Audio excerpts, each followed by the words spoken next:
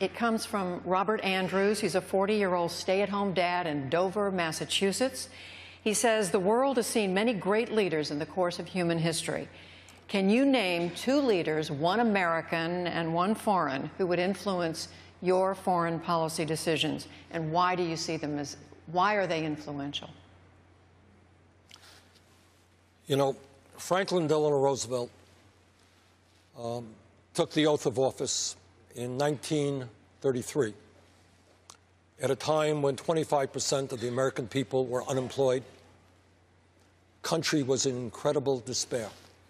And he stood before the American people and he said, The only thing we have to fear is fear itself.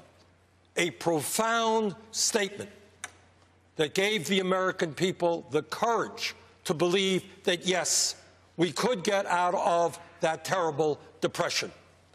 And then what he did is redefined the role of government.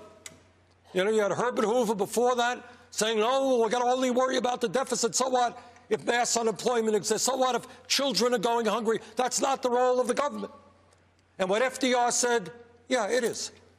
That we're going to use all of the resources that we have to create jobs, to build homes, to feed people, to protect the farmers.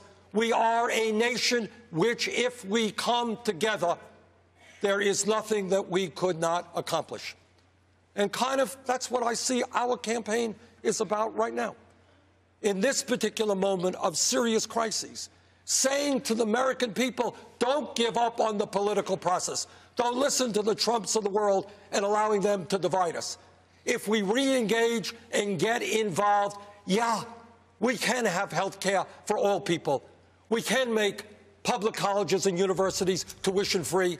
We do not have to have massive levels of income and wealth inequality. In the same light as a foreign leader, Winston Churchill's politics were not my politics. He was kind of a conservative guy in many respects.